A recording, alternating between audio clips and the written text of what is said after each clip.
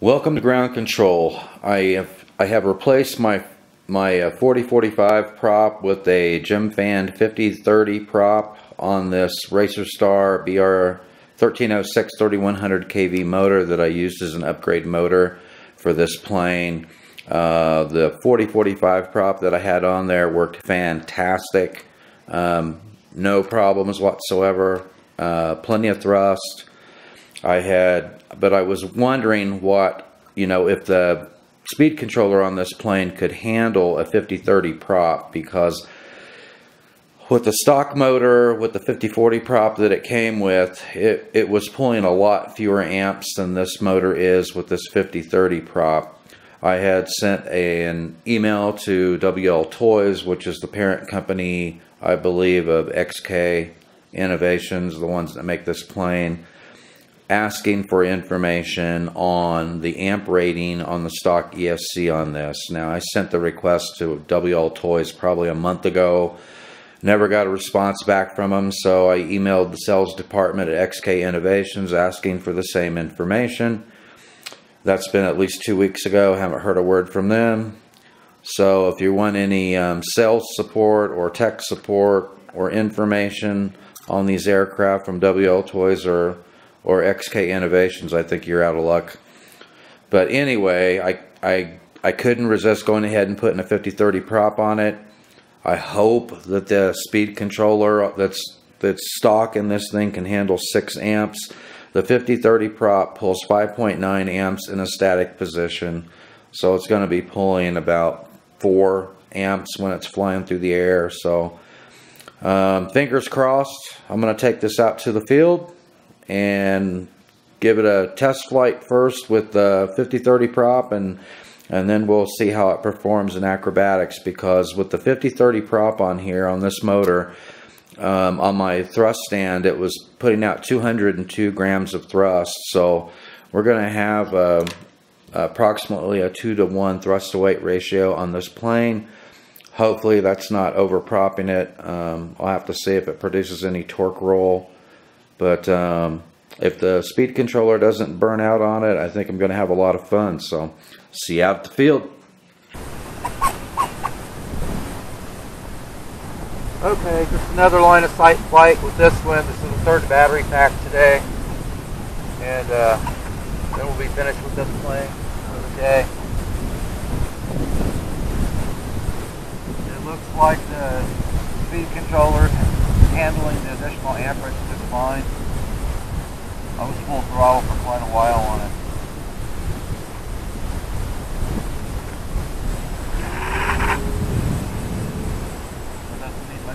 take off.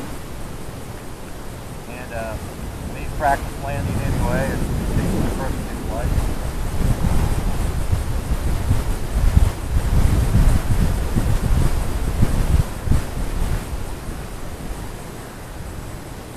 Look at that. Into the wind and about 35% throttle.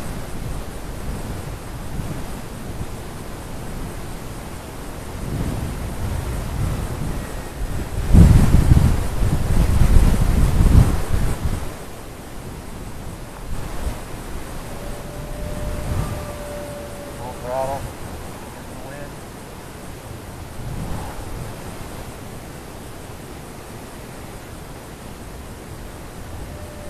Full throttle downwind.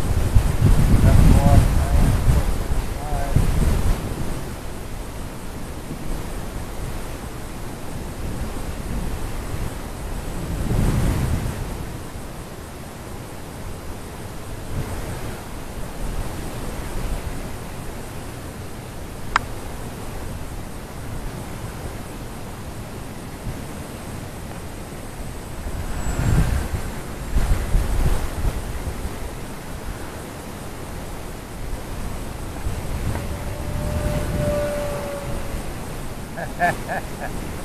Pretty fast.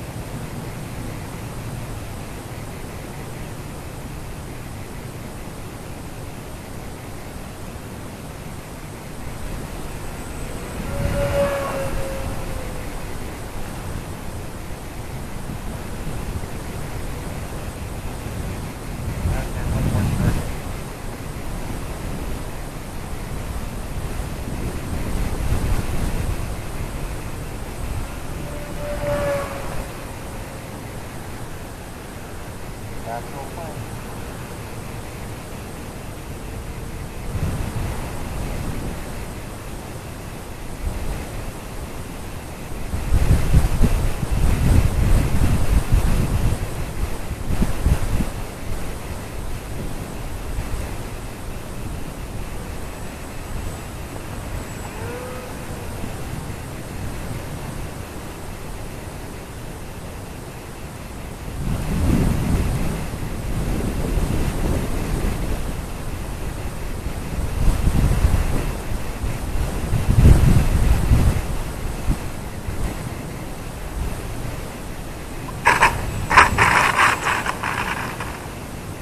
Okay, so you saw the flight and it was fast.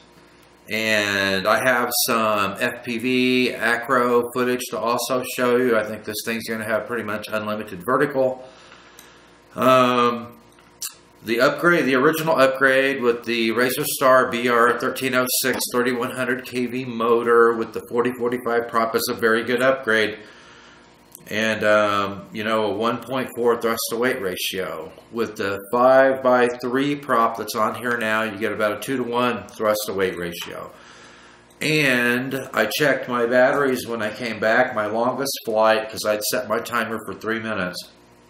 My longest flight was 3 minutes and 40 seconds and the battery pack still had 7.6 volts or 3.8 per cell. So you, even with the 5 by 3 prop you should be able to get six minutes of flight time out of this plane, which is awesome. So I think that's uh, it's been an excellent upgrade. I'm glad that uh, at least so far the speed controller has been able to handle the additional amps.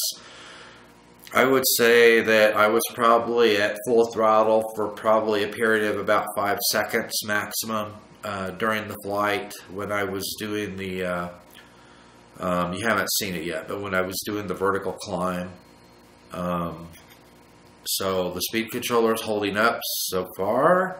Um, you don't have to go to a 5x3 prop. You still have plenty of thrust with the 4045 and it uses lower amps. So you could probably get seven minutes of flight time out of this motor with the 4045 prop. Or if you're like me and you like as much power as possible, then uh, 5030 prop when it comes time to change the motor on the XK DHC2 Beaver, I'll be doing the exact same upgrade to that plane for sure.